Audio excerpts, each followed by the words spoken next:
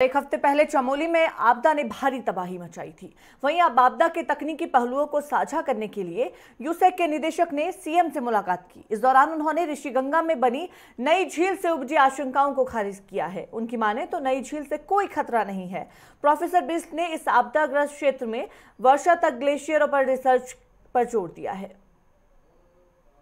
दरअसल हमारा आपदा प्रबंधन विभाग लगातार हमारे सचिव मुर्गेसन सर समय समय पर इस तरह की सूचना चीफ सेक्रेटरी के माध्यम से माननीय मुख्यमंत्री जी को देते रहते हैं।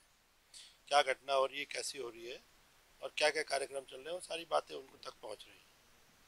और वैज्ञानिक शब्दावली को थोड़ा सा उनको सरल भाषा में समझाने के लिए माननीय मुख्यमंत्री जी के निर्देशन पे मैं उनके पास गया था और उनको वहाँ की जो टेक्निकल एस्पेक्ट है, उसको बताया कि वास्तव में घटना तरह से हुई क्या हुई और आगे क्या हो रही है।